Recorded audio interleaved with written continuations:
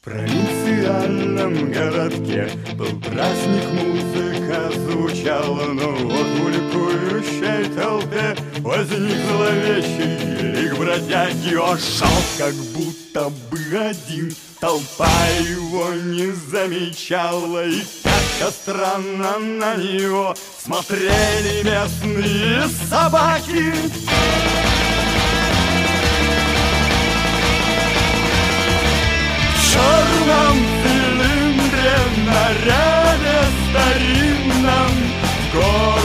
на праздник путник очень спешил По горам пробирался и улыбался Но камень сорвался пропасть горных вершин.